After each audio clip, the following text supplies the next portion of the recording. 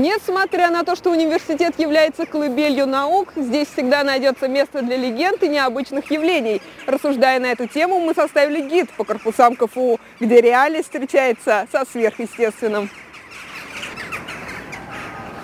В этом трехэтажном здании до середины 20 века была университетская клиника. Здесь даже располагалась часовня, в которой успокаивали больных и отпевали умерших. В подвале, где располагается типография, работал морг. В годы Великой Отечественной клинику переформатировали в военный госпиталь. Здесь умирали сотни бойцов.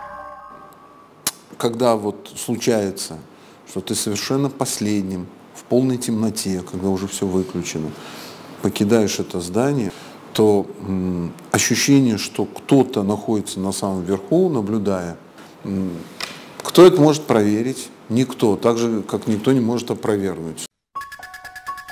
Буквально недавно в ЦИТе проходил ремонт. И в связи с этим зародилась страшилка, что во время ремонтных работ нечто аномальное покинуло свой дом. Не менее интересная история а, еще, наверное, вот этой часовенки, которая рядом располагается, а, где раньше находился тоже морг.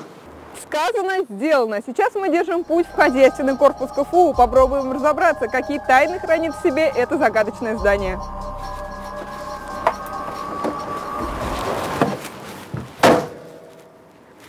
Мы говорим, что на самом деле здесь были захоронения, плюс ко всему.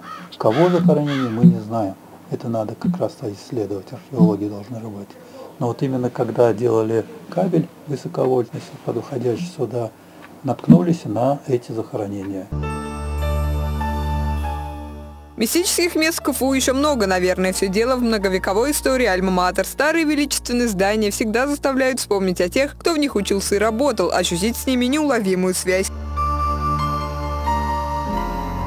Как нам удалось выяснить, в старинной часовне, где сейчас расположен хозяйственный корпус КФУ, загадочное нечто не проявляет себя, в отличие от ЦИТа или анатомического музея университета, с которым связано немало страшилок. Какие необычные явления привлекли внимание студентов и сотрудников КФУ в музее со специфическими экспонатами, и как это объясняет эксперт научно-исследовательской организации по исследованию аномальных явлений «Космопоиск», мы расскажем в наших ближайших выпусках. Адель Шамилова, Роман Самарин, Ленар Давлетьяров, UniverNews.